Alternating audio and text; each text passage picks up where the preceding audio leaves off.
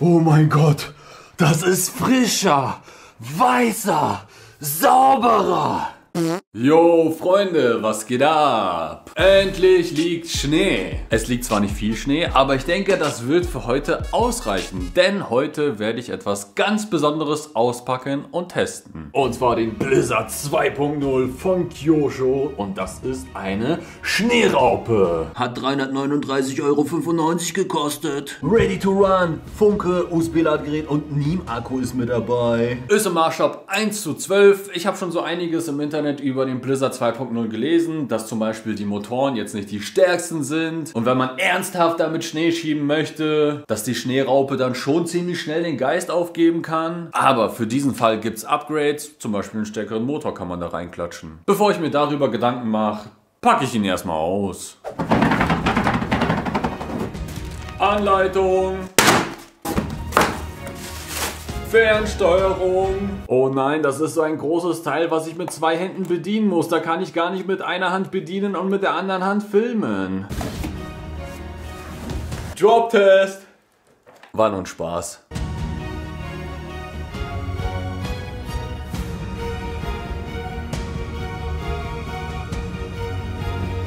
Ah, ich glaube, auf den ersten Eindruck bin ich enttäuscht, aber schauen wir uns das Teil mal genauer an. Also die Ketten hier, die sind aus feinstem Plastik, genauso wie die Räder hier. Die Schaufel, die ist auch aus Plastik, fühlt sich jetzt auch nicht so hochwertig an. Schauen wir mal unter die Karo. Da haben wir zwei Motoren verbaut. Ein Motor treibt die linke Kette an und der andere Motor treibt dann halt die rechte Kette an.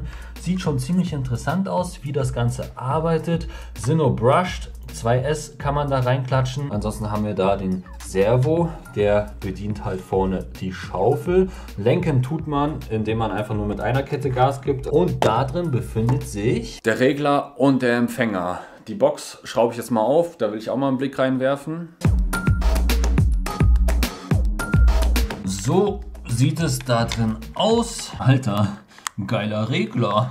also ein paar Upgrades würden bei dem auf jeden Fall Sinn machen. Metallketten, bessere Motorregler-Kombo, ein anderer Empfänger mit anderer Funke, damit man das Ganze auch mit einer Hand steuern kann. Ansonsten vielleicht noch einen anderen Servo, damit die Schaufel mehr Kraft hat. Was meint ihr? Soll ich den tun? Falls ihr Bock darauf habt, lasst einen Daumen hoch da und wenn das Video 7500 Daumen hoch erreicht, dann werde ich das auf jeden Fall in Angriff nehmen. Das hier ist übrigens der mitgelieferte NIM-Akku 2200 mAh. Ich klatsche ihn rein. Karo wieder drauf. In die Funke kommen vier Doppler-Batterien. Jetzt kommt der Moment der Wahrheit. Wow, das Ding ist an. Die Steuerung ist ganz einfach. Links bewegt man die linke Kette, rechts die rechte Kette und wenn man den rechten Stick nach oben macht, dann kann man hier noch die Schaufel bewegen. Alter, schaut euch das an, ey. Wie ruckartig die hochgeht. Alter. Na, ein bisschen Power hat er doch hier. Der kann sich fast von alleine aufstellen. Schauen wir mal, ob er genug Kraft hat, um die Kartons jetzt zur Seite zu schieben. Das sollte, denke ich mal, ohne Probleme funktionieren.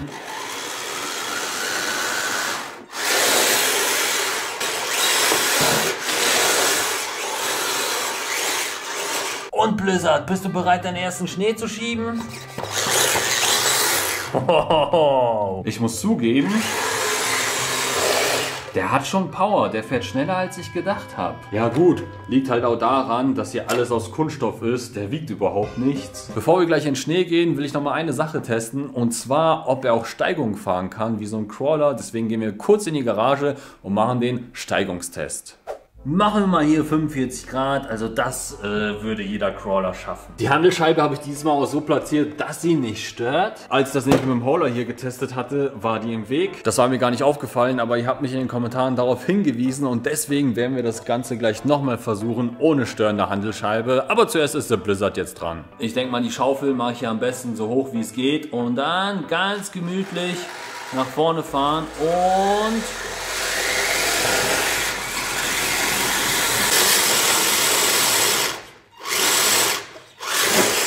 Er kommt nicht hoch, habe ich jetzt auch nicht erwartet, ist ja auch kein Crawler, aber nichtsdestotrotz, falls da Metallketten draufklatschen sollte, will ich das Ganze mal vergleichen. Ich meine, er wird dann schwerer und vielleicht schafft er es dann da hochzufahren. Deswegen wollte ich das testen. Versuchen wir es nochmal mit dem TX6. Oh geil, ich kann ihn mit einer Hand bedienen, let's go. Die Handelscheibe ist jetzt nicht mehr im Weg. Wow. Da drauf kommt er schon mal wirklich sehr, sehr gut. Mal gucken, ob das Heck jetzt blockieren wird. Und ja, er setzt schon auf, aber ganz kurz dachte ich, er wird es schaffen. Keine Chance. Oh! Mit Anlauf ist es tatsächlich möglich. Schaut euch das an. Oh, oh, oh, oh. Yeah. Man braucht einfach genug Schwung, um diesen Punkt zu überwinden, wo der mit der Heckschussstange hängen bleibt und dann, dann geht's. Nehmen wir den Hauler gleich mit raus? Ja, den nehmen wir mit. Hat mal voll Bock, eine Runde im Schnee mit dem zu bashen. bashen mit dem Crawler. wir machen jetzt erstmal hier einen kleinen Test auf dem Balkon. Da liegt jetzt nicht so hoch Schnee, aber er ist feucht. Das bedeutet, er ist schwer. Der sollte das dennoch schaffen. Ich mache die Schaufel runter und jetzt versuchen wir mal zu schieben hier.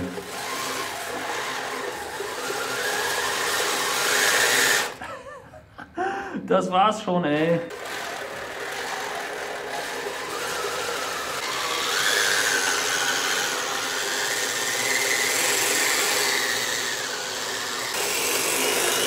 Wenn ich darauf achte, dass ich die Schaufel jetzt nicht komplett gegen den Boden drücke, dann kommt er schon voran.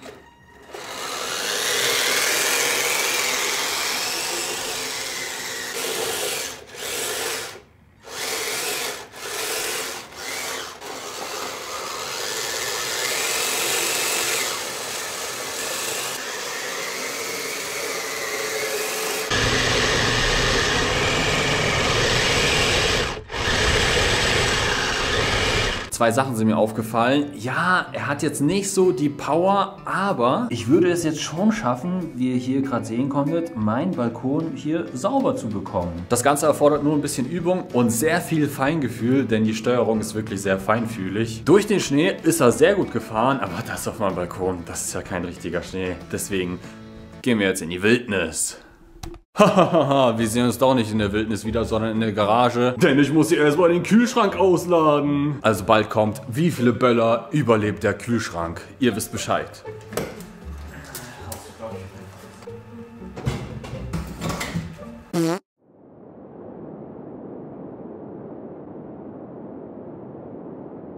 Ich muss mich erstmal aufwärmen, deswegen drehe ich schnell eine Runde mit dem Hauler. Manchmal werde ich gefragt, wie ich diese Aufnahmen mache, also so dem Fahrzeug hinterher. Ich nehme meine GoPro mit Selfie-Stick und dann renne ich dem Auto hinterher. Das, das ist es schon. Ich zeige es euch mal kurz. Sieht bestimmt lustig aus von außen. Let's go!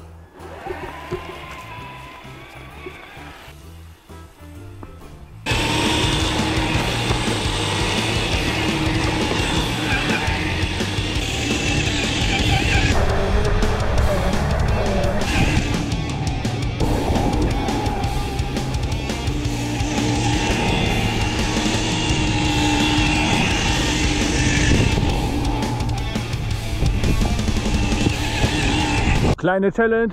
Schafft es der Hauler, über diese Pfütze zu fahren? Ja, die ist gefroren, aber ich glaube nicht so fest.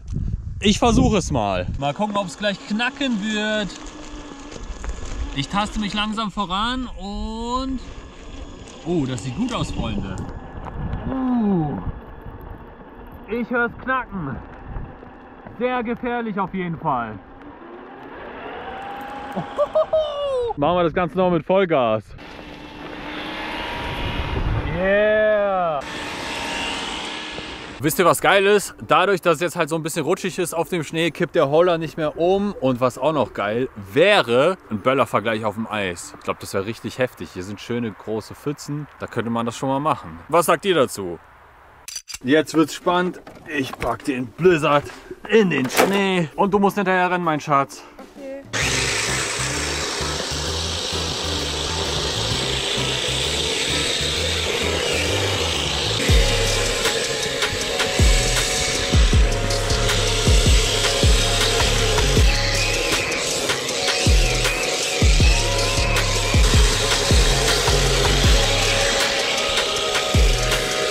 Ich glaube, wir müssen mal ein 2S Lipo reinklatschen. Mal gucken, ob er dann mehr Leistung hat. Aber so, ich wünschte, er wäre schon schneller. 7300 mAh, damit sollten wir lange Spaß haben. Let's go! Drop Test!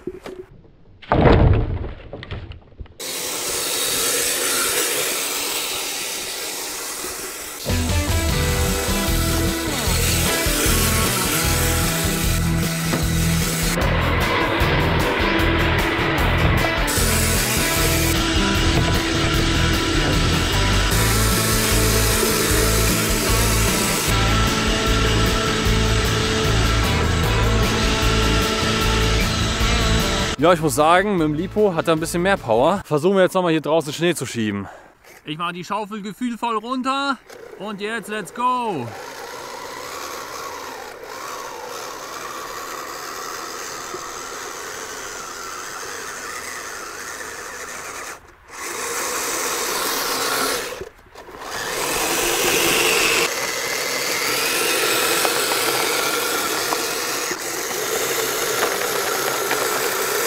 Oh wow, mit dem Lipo funktioniert das Ganze viel besser. Ich kann die Schaufel sogar komplett nach unten machen, sozusagen am Boden schleifen lassen und das Ding schiebt. Aber er könnte trotzdem mehr Power haben. Nichtsdestotrotz bin ich erleichtert, dass man überhaupt was mit ihm machen kann. Oh, oh Freunde, ich habe gerade einen Auftrag reinbekommen und zwar soll ich Dynamit transportieren. Es ist schon aufgeladen und mit Schnee gesichert. Das Ganze muss ich jetzt vorsichtig nach da hinten fahren. Ich muss wirklich ganz vorsichtig sein, sonst fliegt mir der Kessel hier in die Luft. Let's go! Oh, ganz ruhig fahren, ganz ruhig.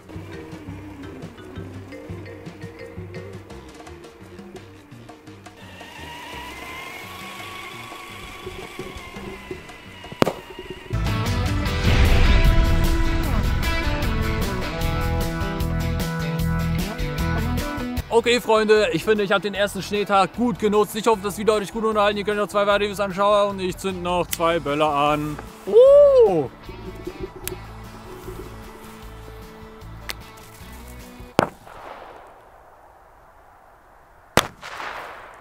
Das war einfach nichts.